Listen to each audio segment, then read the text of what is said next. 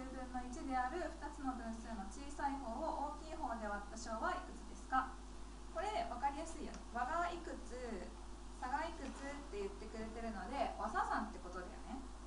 じゃあ和差算ってどうやって解くんだったっけっていうと和と差が分かってるのでそれをグラフにまとめてあげることでまず情報を自分の中で整理しましょう。和が12分の1差が120分の1なのでじゃあ大きい方を上に書いて小さい方を下に書く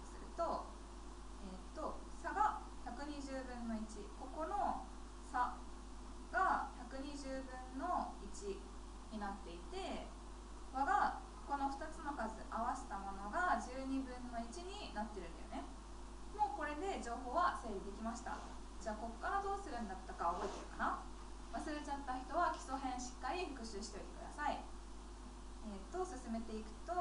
和が12分の1差が120分の1なんだけどじゃあこっちも120分の1分増やしてあげれば同じものが2つになるよね。そうすればその合計を割るにしてあげれば1個分が出るのでじゃあ120分の1大きくした時って2つの数の和はいくつになるかっていうともともと12分の1なのに対して120分の1付け加えてあげるので120分の1足してあげて通分して120分の10足す1なので120分の11このピンクの部分まで増やしてあげて2つ同じ数にすると2つの合計が120分の11になるよっていうことが分かりましたじゃあこれ2等分してあげればいいよね120分の11を割る2かける2分の1してあげると240分の240分の11になりました。これが大きい方今のここからここまでだよね。ここからここまでが240分の11であるっていうことが計算できました。あとはこれは大きい方なので小さい方はこれより120分の1小さい数になるわけだから引き算してあげればいいよね。240分の11から120分の1引いてあげる。通分して240分の11引く2240分の9約分してあげると80分の3になります。ここまで大丈夫かな？これで大きい方の数が240分の11小さい方の数が80分の3であるっていうことが計算できました。ここまでは前回やった、えーと、基礎編でやった和サザンの問題と何も変わらないと思うんだけどこの後答えたいのはこの問題は小さい方を大きい方で割った小はいくつですかっていうふうに聞かれているので小さい方80分の3を大きい方240分の11で割ったこの小を求めてあげてねってことだよね。じゃあ計算すると80分の 3×11 分の240になるので11分の9答えは11分の9です。サザンとしてやっていることはえっと、基礎編の部分と変わらなくて図に書いてあげた後で2つの数を揃えてあげて2等分する。これで1項が出るっていう計算をしてるだけなので和算としては難しい問題ではないんだけど単純に和算をするんじゃなくてその結果出た答えをさらに計算して答えを求めなきゃいけないっていう問題だったので応用問題にしました。応用問題括弧2あるレストランでは2人席4人席6人席の3種類のテーブルが合計22台あります。2人席のテーブルは5台あり座席の合計は9席です4人席のテーブルは何台ありますか？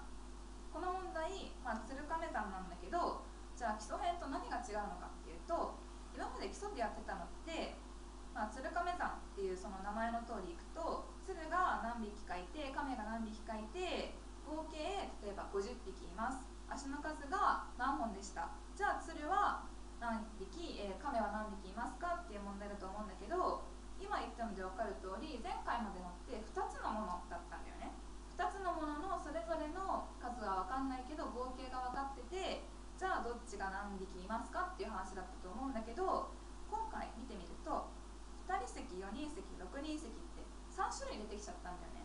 だからちょっとあれ鶴亀山と違うのかなって思ったり難しいのかなって最初思っちゃうのかなって思うんだけどよくよく問題見てみると2人席のテーブルは5台ありって書いてくれてるんだよねだから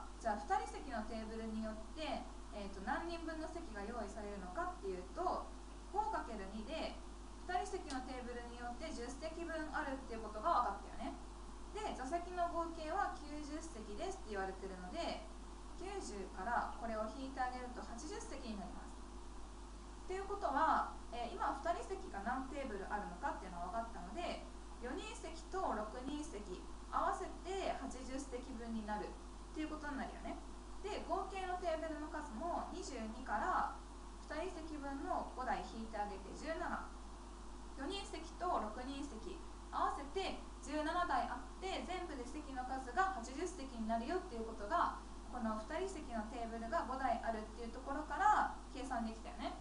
ということはあとはもう、えっと、基礎編であった鶴亀山と一緒っていうことが分かるよね。4人と6人の席。があって合計が80です。じゃあ4人席のテーブルは何台ありますか？これはもう前回と一緒なのでどんどん進んじゃうと同じで図を書いてあげて4人席と6人席合計17台あってこの面積が80になってます。じゃあ6人席と4人席それぞれ何台あるかな？例えばもし全部6人席だったら何席用意できるかっていうと 17×6 で102 102席用意できるはずだよね。この今青で書いたこの長方形の面積は102になってます。でも実際は80席しかなくてどうしてかっていうと全部6人席なんじゃなくて4人席もあるから6人席が1台減って4人席が1台増える。この動きをすると,、えー、と2席座れる席が減っちゃうのでここだよね。それが表しているのがこの縦の6と4の差の2じゃあここの横幅いくつになるかなっていうとこの面積は102と80の差の22なので面積が22になるように縦は2横はいくつですか？じゃあ縦で割ってあげればいいよね。そうすると四角は11になります。つまり4人席のテーブルは11台あるっていうことが計算できました。答えは11台。です今やってあげたことを確認するとえっと2人席4人席6人席ってあってあれ鶴亀山なのかな違うのかなって最初思うんだけど2人席のテーブルは5台あるっていうふうに問題で言ってくれてるので2人席の話を全部計算で抜いてあげてそうすれば4人席と6人席のテーブルの鶴亀山の問題に変わるのであとは基礎編でやったのと同じだよね。図に整理してあげて計算します。ここまで大丈夫かな？ちょっと鶴亀山の計算不安だった人は基礎編確認しておいてください。最後応用問題括弧3 600個のグラスを運ぶと1個につき7円もらえます。ただし運ぶ途中で壊すとその分もらえない上に1個につき10円払わなくてはなりません。3945円もらったとすると壊したグラスは何個ですか？この問題ちょっとなんだこれって思うと思うんだけど鶴亀山とやることはあまり変わらないじゃあ計算できるようにちょっと問題を省略して600個のグラスがあって運び切れば7円もらえる。1個壊しちゃうと10円払わなきゃいけない。合計3945円もらった。この情報が今大事なことです。じゃあここ600個のグラスを運んで1個につき7円もらえるってことはじゃあもし全部運びきってたらいくらもらえるのかなっていうのは計算できる。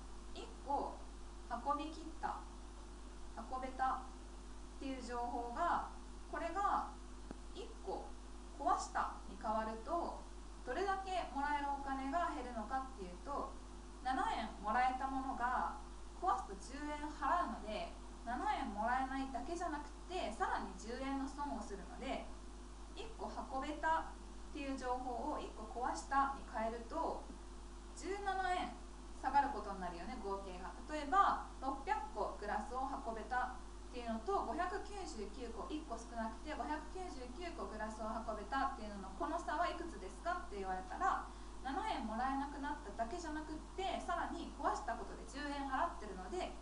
17円減ってるはずっていうのが分かるよね。じゃあ1個壊すたんびに、えっと、運ぶより17円損するってことは255円分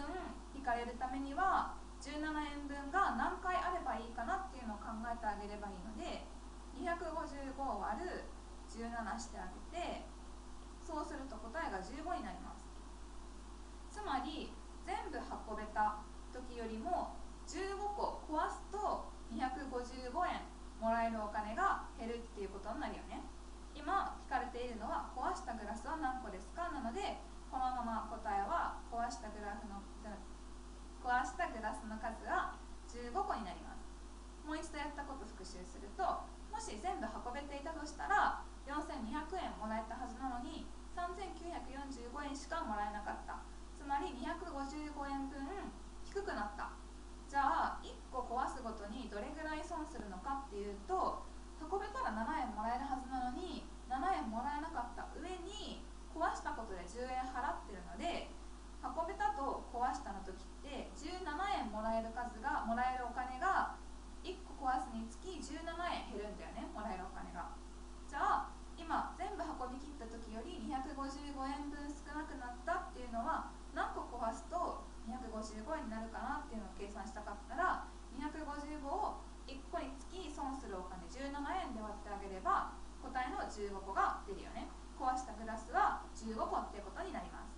はい今日は、えーと、鶴亀山と和佐山の応用問題をやりました。えーとやりたいことは結局は問題文の情報をしっかり自分の中で整理してグラフや図を見て考えてあげるっていうことなので応用になってもその情報を整理するっていうのを大事にしてやってみてください。バイバイ。